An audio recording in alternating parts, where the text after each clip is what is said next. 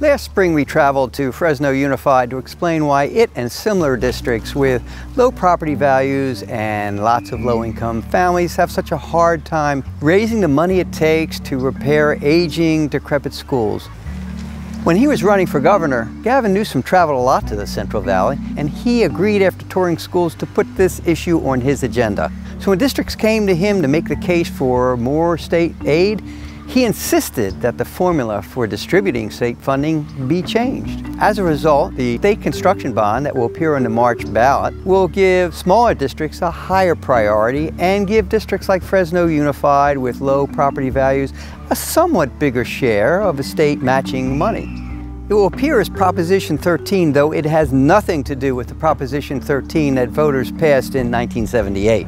Here's a summary of what will appear on the ballot. Of the $15 billion total, 6 billion will be divided among community colleges, CSU, and UC. $9 billion will go to K-12, with most of it for school renovations and the rest for new construction, for charter schools, and career tech facilities. Districts with schools in dire condition will be at the front of a line for the K-12 portion. And so will small districts with too tiny a tax base to fund the work. Money will also be set aside to treat lead if it's found in school water. And property poor districts will get up to 5% more matching state money. It's not a huge difference, but a start towards more equitable funding. For more information, follow this link and go to edsource.org for continuing coverage of Prop 13. And now come with me to Fresno Unified while we see why change is needed.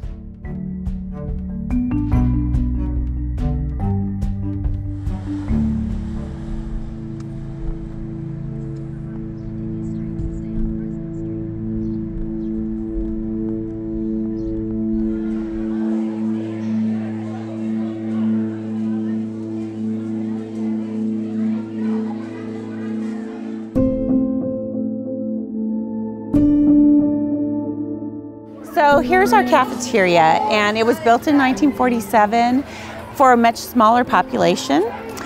Uh, we really can't hold family events here in the cafeteria much larger than one grade level. We serve a population of 630 students, 100% free and reduced lunch. The other issue that we have in the cafeteria is there's no air conditioning, and being from Fresno, gets really hot here. Imagine having 200 students in there eating on a 100 plus degree day. It gets sweltering. We have a really persistent inequality of facilities between the richest California districts and the poorest districts in our state. I've worked from San Diego County up to uh, Redding and really was struck by the differences in the types of facilities and the conditions of facilities throughout the state. And it's, it's made me uh, become an advocate for trying to find a way to create a more equitable system of funding Fresno Unified is a, um, an older district. We've um, our buildings, and in terms of the age of our buildings, our average age is about 55 years old. We also um, did have a facilities condition assessment completed two years ago, and that study showed over a billion dollars worth of need district wide just to bring our schools up to the level that we would be considered good to meet all those needs in terms of the educational programs. I mean, we are the second most impoverished major urban in the United States and far and away the most impoverished major urban in California without a close second. 40 some odd percent, 46 I think, percent of our families for a family of four, they make less than $25,000 annually. And that's serious business. So their issues aren't all about new schools, right? Prioritizing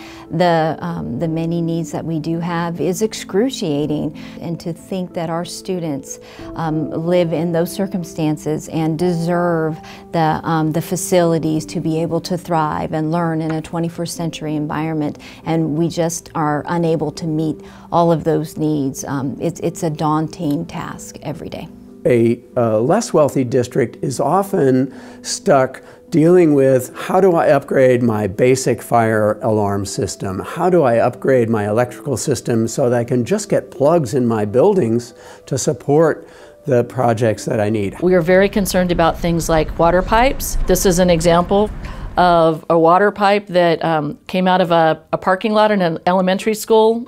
We didn't expect those pipes to decay um, at this point, but when that happens, we have to direct funding to fix it. The site does a wonderful job of maintaining the campus, so it looks relatively nice, but it's a lot of those unseen items that oftentimes end up costing quite a bit uh, to either upgrade or replace. Well, Roosevelt is one of the um, original schools here in Fresno. We're the, the third school in Fresno Unified. Um, it uh, was built in 1928. There's a lot of history here. The 90 year old school is beautiful, but there are some drawbacks sometimes. We have four high schools that only have one gym, and it's a it's a concern not only from a gender equity perspective, but also safety. We have kids practicing very early in the morning and late at night with limited gym space. Right now, we currently have to send our freshman and JV programs over to different sites, our junior highs, just to practice. Uh, makes it tough because we uh, can't get onto those sites until after 5.30 and having to transport kids from here to there make it very difficult. And part of the reason why some kids don't come out as freshmen for girls is because they would have to go at a later time and parents are reluctant to send their kids home at a later time in the dark. Well, our study for Getting Down to Facts took a comprehensive look at the last 20 years of school facility funding, both from local and state sources, uh, the districts across the state got. And what we found was that, particularly with regard to facility modernization or upgrading existing facilities, was that funding from the state to local districts was fairly inequitably distributed. That is, school districts with higher property values, higher median family incomes, and fewer poor children actually got more money from the state to upgrade their schools.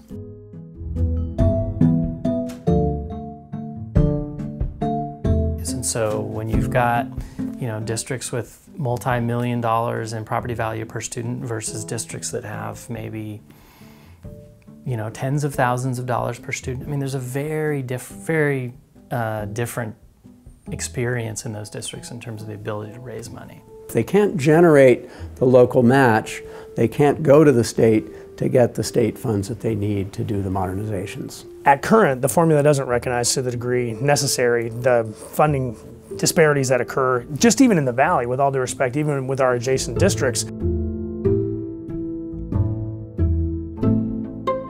Clovis Unified's disadvantaged population is about 40%, whereas Fresno Unified's disadvantaged population is 89.5%.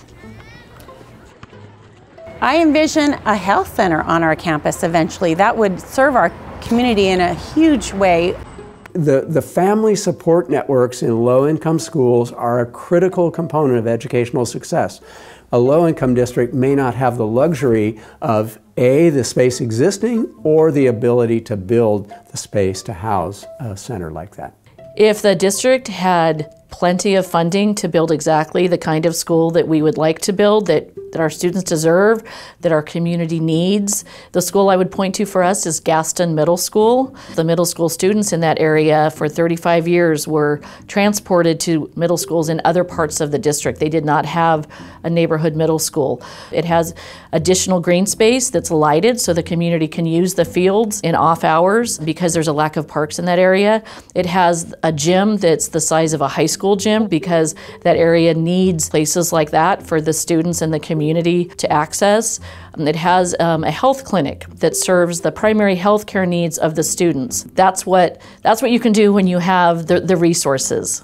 Can't we find a formula that looks at both the property wealth and the household wealth and uses that in a way to provide additional resources where they're most needed for the less wealthy districts? One of the things we've been looking at is how all the other states do this. Two thirds of the states um, fund school facilities, and most of those states have a wealth adjusted formula. That is, they look at property values or they look at student uh, socioeconomic status and they give funding based on those. So I think we as a state need to recognize that differentiation and institute a sliding scale funding formula that will try to remedy that problem so that all districts have you know a reasonable uh, opportunity to raise the dollars to fix up their school facilities. If there's anything that moved us toward a, toward a model where we took acknowledgement of those factors, Fresno Unified would be a huge beneficiary in that system.